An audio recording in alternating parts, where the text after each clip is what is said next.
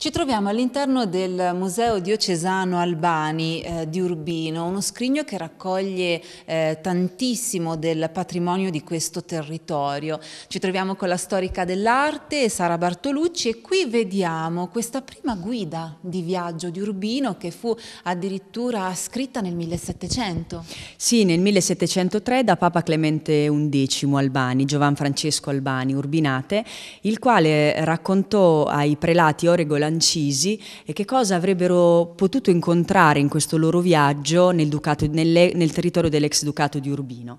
E qui leggiamo proprio l'indicazione a visitare la cattedrale eh, con la famosa cena di Federico Barocci, eh, l'oratorio della, gro della, grotta con i quattro begli oratori e eh, le suppellettili conservate all'interno delle sacrestie che proprio Clemente XI aveva prestato con eh, degli, uno splendido mobilio atto ad accogliere degli oggetti di oreficeria straordinari. Quali sono le opere più importanti che troviamo nell'esposizione? Questo è un museo diocesano, quindi è un museo che raccoglie eh, manufatti che provengono da Urbino, dalla cattedrale in primis, ma anche un po' dal territorio eh, dell'arcidiocesi di Urbino Urbania Sant'Angelo in Vado. Eh, gli oggetti sono eterogenei, si va dai dipinti, teleotavole, a sculture in bronzo, eh, anche in marmo, abbiamo dei codici manoscritti, eh, dei corali eh, per ehm, il canto della messa, della, della liturgia, eh, ci sono paramenti sacri, eh, oggetti proprio per l'arredo sacro come eh, lo straordinario complesso d'altare, parato d'altare fabbricato a Meissen e commissionato da, mh, dal cardinale Annibale Albani in porcellana finissima. Eh, ci sono oggetti di straordinario valore come, eh, e unici quasi come il, can il candelabro in bronzo fuso di Francesco di Giorgio Martini, il grande architetto che lavora a Palazzo Ducale e poi lavora anche qui eh, per la sua cattedrale. E poi eh, il leggio che Federico da Montefeltro rapina alla città di Volterra. È veramente uno scrigno, di, uno scrigno di tesori tutto da scoprire. Allora andiamo a scoprire nel dettaglio alcune di queste opere. Siamo nella sala dedicata alla famiglia Albani. Questo museo si chiama appunto Museo Albani per raccontare la munificenza, soprattutto di Clemente XI e del cardinale Annibale, che è anche il committente di questo straordinario complesso d'altare in porcellana finissima e realizzato eh, presso la manifattura di Meissen, che riuscì per la prima volta in, Euro in Europa a realizzare degli oggetti eh, in porcellana bianca secondo la ricetta cinese originale. originale. Come vedete ogni oggetto presenta l'emblema della famiglia Albani, tre monti e la stella, come se il committente avesse voluto proprio firmare ciascuno degli oggetti. Questa sala conserva degli altri oggetti di reficeria straordinari come la tiara di Clemente XI, ehm, un, uno straordinario reliquiario eh, barocco contenente eh, la, un frammento della croce di Cristo eh, oppure le ambre che vengono dal Baltico. Eh, pensate che eh, il cardinale Annibale ricevette eh, dalla regina di Boemia proprio eh, una pisside eh, che originariamente era una coppa da brodo e che poi fu trasformata in un oggetto liturgico e, venne, e proprio il cardinale Annibale fu il destinatario di questo preziosissimo dono. Siamo qui all'interno della sacrestia nuova che Clemente XI volle proprio per esporre esporre questi straordinari oggetti che erano stati donati sostanzialmente dalla sua famiglia o che erano eh, in dotazione alla cattedrale dai secoli precedenti. E siamo in particolare di fronte ad un oggetto straordinario che è il leggio ehm, che Federico da Montefeltro rapinò durante la presa di Volterra nel 1472. Eh, durante il saccheggio della città lui portò ad Urbino eh, questo oggetto che ehm, si coniuga benissimo con la celebrazione della sua famiglia e della sua persona, perché come vedete nella parte alta eh, rappresenta proprio un'aquila, eh, un'aquila con la corona, quindi eh, l'aquila imperiale. E, mh, mm, questo oggetto venne collocato all'interno della straordinaria biblioteca di Federico da Montefeltro, ma dopo la devoluzione dello Stato Pontificio allo Stato Pontificio del Ducato di Urbino, questo oggetto passò come molti altri a Roma e Clemente XI decise di riconsegnarlo, restituirlo alla sua città natale e questa volta però venne collocato non più in biblioteca, in quanto la biblioteca federiciana non esisteva più all'epoca, ma all'interno della cattedrale.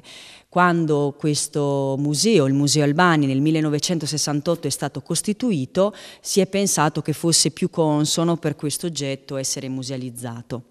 Il museo, essendo un museo di arte sacra, contiene dei dipinti che raffigurano dei soggetti sacri. Ci sono anche tante natività.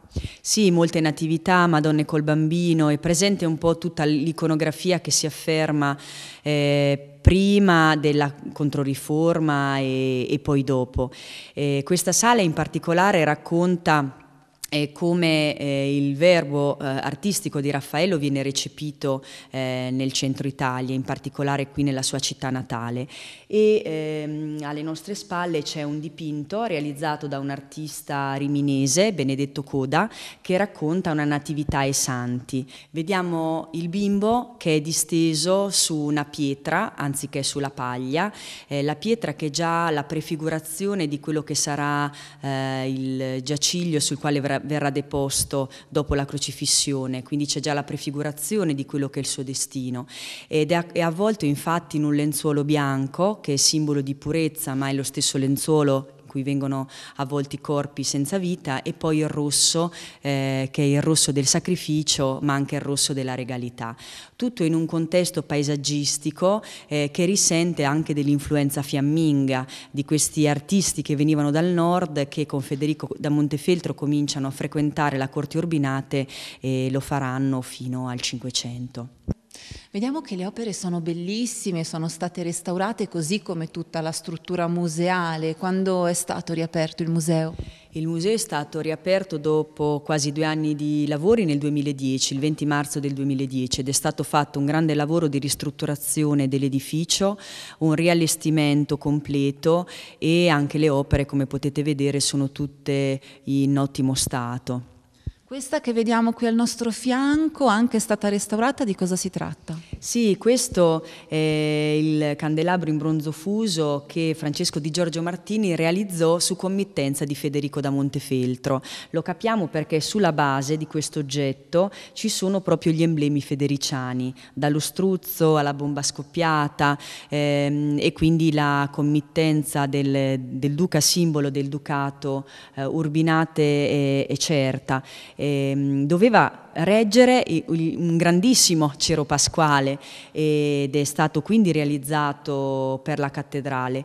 Mm, la cosa straordinaria, se ci pensiamo, è il fatto che Francesco Di Giorgio, il grande architetto di Palazzo Ducale, probabilmente colui che ha eh, realizzato l'ultima fase chiaramente della fabbrica, è intervenuto anche in cattedrale, non si è eh, fatto problema di cimentarsi nella realizzazione di un oggetto eh, che per noi oggi risulta essere minore ma che non lo è affatto, per la devozione della famiglia ducale eh, per la propria cattedrale. In questa sala sono raccolte opere realizzate da Barocci e dalla sua scuola o dai suoi epigoni, in particolare un bozzetto per ehm, l'estasi della Beata Michelina, il cui diciamo, dipinto conclusivo, concluso, è, è, alla Pinacoteca Vaticana. E poi c'è una Sacra Famiglia eh, con San Giovannino, detta anche Madonna del Gatto, che è stata ritenuta fino a poco tempo fa eh, un originale di Barocci, mentre ci si è accorti, perché sono emersi documenti, che in realtà è una coppia eh, di inizio Settecento. Questo ci fa capire quanto il fenomeno baroccesco, quanto la replica eh, dello stile, dell'iconografia baroccesca furono ehm, consoni a quella che era la spiritualità dell'epoca, per molti decenni ancora la, mor la morte del maestro che avvenne nel 1612. Entrando nell'ultima sala dove sono raccolti questi oggetti preziosi, meravigliosi, abbiamo proprio l'idea del tesoro della cattedrale. Qui cosa vediamo? Sì, qui ci sono, sono, conservati molti oggetti di orificeria, eh, di committenza di nuovo eh, della famiglia Albani, è per questo che vediamo cristalli di rocca, eh, ori argenti preziosissimi, reliquiari, calici, eh, oggetti per la liturgia, eh, il famoso reliquiario di San Crescentino che contiene una reliquia appunto del santo patrono di Urbino che viene festeggiato il primo di giugno. Il Museo Diocesano Albani di Urbino è collegato anche con gli orari di apertura con l'oratorio della grotta della cattedrale di Urbino e lì troviamo esposto ancora per un po' il bambino ritrovato del Barocci. Sì, infatti questo è un circuito museale unico per cui con lo stesso biglietto si accede ad entrambi i siti che sono proprio a destra e a sinistra della cattedrale ehm, e eh, fino al 7 gennaio abbiamo l'opportunità di mostrare questo frammento che fu tagliato nel 1982 da una pala, eh, il martirio di, di San Sebastiano che Barocci eseguì tra il 1557 e il 1558 per la cattedrale di Urbino. Oggi il frammento è stato ritrovato e, e il frammento e l'opera sono esposti insieme all'oratorio della grotta. Fino al 17 di eh, dicembre sarà possibile entrare al Museo alle Grotte il sabato e la domenica e i giorni festivi, eh, mentre dal 17 di dicembre al 7 di gennaio eh, il museo sarà aperto tutti i giorni con la sola chiusura del martedì. Gli orari? Gli orari eh, saranno diciamo, variabili in questo periodo, quindi eh, vi consiglio di visitare la, pa la pagina Facebook del museo o anche il sito del museo dove sono dettagliati.